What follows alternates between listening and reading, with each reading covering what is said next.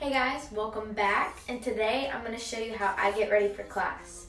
A lot of people have asked me to do get ready with me's for a lot of different occasions, so this will be the first of many. And before we start, don't forget to like and subscribe and drop what you think I should video next down in the comments. So first of all, let's get dressed. So normally I wear anything from a tank top and Lululemon shorts with tennis shoes to a like flowy t-shirt kind of thing with jean shorts. And then if it gets colder, then I sometimes wear like jeans and like a cute little sweatshirt. Um, it really just depends on how I'm feeling. But I never wear like sweatpants to class because I tend to like get super tired if I'm super comfortable. So I like to dress up a little more and if I don't dress up, then I wear at least a tank top and shorts. Next, I'm gonna do my makeup. So I don't really change up my makeup routine much. I just either don't use eyeliner or I just use like just like powder and mascara. But like today I'm gonna show you what I normally do on a daily basis, which is a little more than usual. Okay, so step number one is concealer. I always use this under my eyes. And I don't use a lot, just a little bit. And then sometimes I put it on like my little spots. Kind of running out of it. and then I just use like a fluffy brush to rub it in. Step number two is gonna be Bare Minerals Bare Pro Matte Powder. I use this, I've never used liquid foundation unless I'm competing and I'm gonna be in like really bright lights. So like every day I just use like a powder foundation just to kind of even out my skin tone and just make everything look like smooth. So I use the Seamless Buffing Brush from Bare Minerals to put on my powder.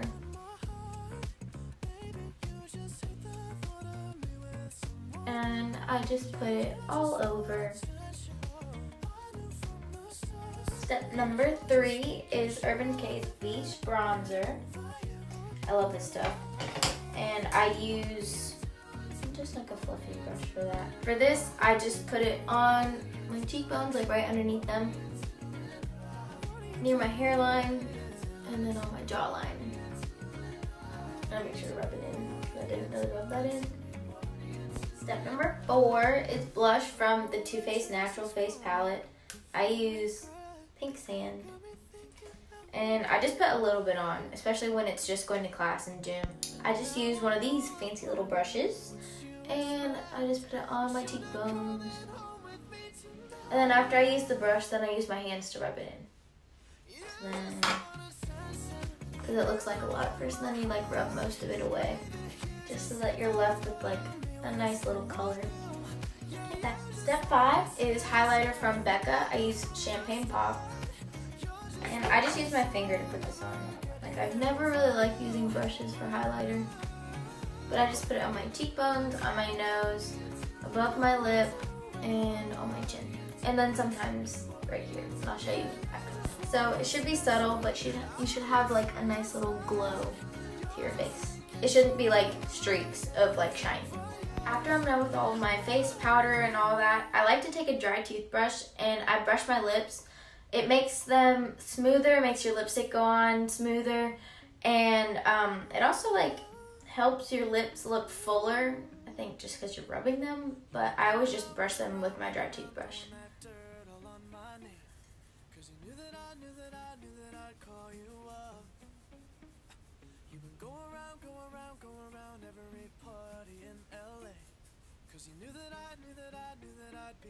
Like that and it just gets all the dead skin off. Another trick I like to do after I brush my lips is I like to use Vaseline lip therapy and I just put that on my lips so they don't dry out before I put my lipstick on. And you can wipe it off before you put it on just so it doesn't like smear. I forgot what step I'm on, but we're gonna do my eyebrows. So I just used a clear eyebrow gel. I never like actually like, fill in my eyebrows because they're kind of thick and I just kind of brush them up first and then like down. then I just shake them with this. I don't really like filling them in. Because they always look like too dark compared to my hair. So I just leave them. Next up is eyeliner. I always use pencil always just do my waterline. Like that. So next I do mascara and I actually use two different mascaras. So I put one on then I put the other one on. So I start with Urban Decay Perversion and then after that I do Too Faced Better Than Sex. I love both of these. They make your lashes look super full and super long. So these have been like my favorites out of all the ones I've tried. So yeah, I like to twist my brush down so it pulls all the lashes up into the little applicator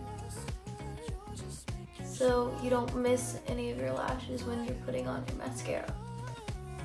So I first go through and do all my lashes with this. I go top, top, bottom, bottom, and then I switch and use the other one. Now I do the same with the other mascara. Same thing with the top, top, bottom, bottom, and twisting the applicator. See how it makes them like look a lot fuller and a lot longer.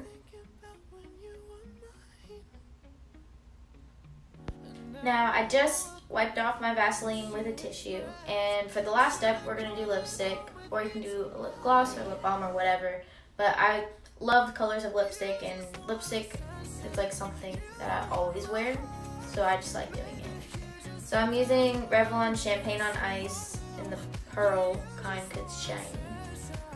And put it on like normal.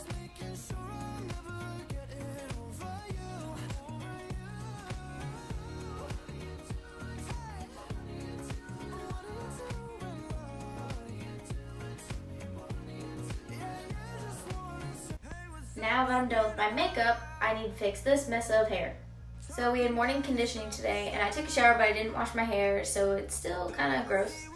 And I have practice later so I'll wash it tonight. But until then I'm going to use dry shampoo and dry texture spray just to make it not so greasy and a little more manageable.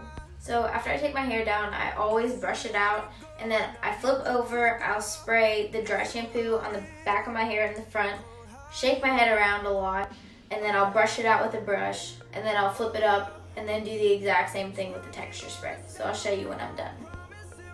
And now it's like super fluffy. But now it's not gonna be stuck to my head and it'll be easier to work with. Now I'm gonna do a super easy low messy bun with one of these. So I just take my brush and I part my hair. I have a part over here, but you can do middle part or different part. You can do whatever with that. But I just, you just part your hair. And then I brush it out again one more time. And then I brush it back a little bit. And then I just take this. And I start with the bun. So I turn this around so you guys can see like what I'm doing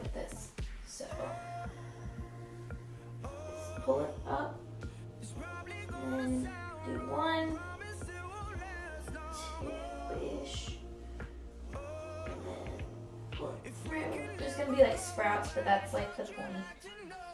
And then after that, you're gonna pull those down and some of these down. Like. So this is my go-to class outfit, hair and makeup. I hope you enjoyed getting ready with me and stay tuned for more videos.